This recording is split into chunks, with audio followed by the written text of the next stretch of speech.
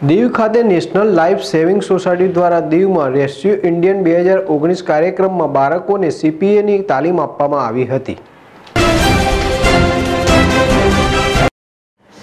દીવમાં national life saving society દ્વારા ચાલી રહેલી રેસ્ક્યુ બે હજાર ઓગણીસમાં ઉપસ્થિત નવ રાજ્યના ખેલાડીઓની સાથે દીવના સ્કાઉટ ગાર્ડ વિદ્યાર્થીઓને નેશનલ લાઈફ સેવિંગ સોસાયટીના પ્રમુખ, કમ સેવા નિવૃત્ત એડમિર પીડી શર્માના માર્ગદર્શનમાં આજે સીપીએની તાલીમ આપવામાં આવી, જે અંતર્ગત બાળકોને પ્રાયોગિક રીતે તેમજ પ્રોજેક્ટરના માધ્યમથી સમજણ આપવામાં આવી કે જ્યારે કોઈ અકસ્માત કે ઘટના બને, ત્યારે ઈજાગ્રસ્ત વ્યક્તિને પ્રાથમિક સારવાર કઈ રીતે આપી શકાય?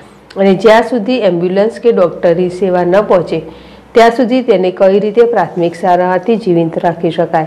તેના હૃદય પર કોઈ રીતે પમ્પિંગ કરવું, તેને શ્વાસ રીતે આપી શકાય વગેરે વિશે પ્રેક્ટિકલ કરી બાળકોને તાલીમ આપવામાં આવી.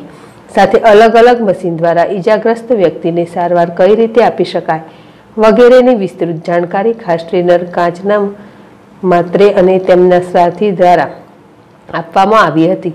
ટ્રેનર કાંચને માત્ર છેલ્લા દસ વર્ષથી નેશનલ લાઇફ સેવિંગ સોસાયટીમાં સેવા આપી રહ્યા છે અને દસ વર્ષથી અલગ અલગ રાજ્યોના લોકોમાં રેસ્ક્યુ ઇન્ડિયા અંતર્ગત લોકોના સલામતી અંગે તાલીમ આપી રહ્યા છે.